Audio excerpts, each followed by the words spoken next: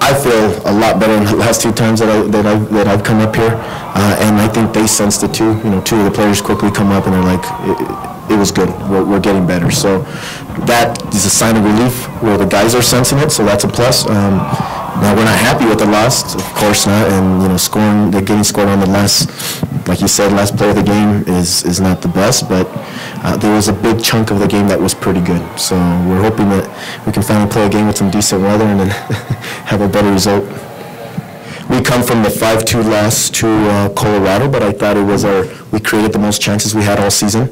Uh, uh, and I took some positives out of there. Uh, the guys played in a snowstorm that's not very easy to do, and they had great attitudes about it. We've had um, about two weeks of very, very good training. We keep getting better at the training, and then I think today's another good good game for the guys, and we keep growing. So uh, Fito had a very good game. That's a that's an 18-year-old out on the field. Um, so the, the if we stay positive, I think results will start coming.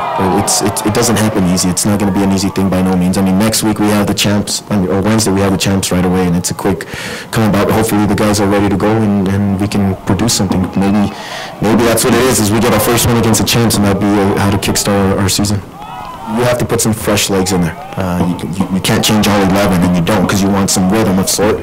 Um, players start picking up rhythm. But, uh, and our staff does a good job of, our medical staff, of getting those guys ready, but we do need to put a couple fresh legs in there just to, to make sure we're, we, we don't have the same result as we did the other time.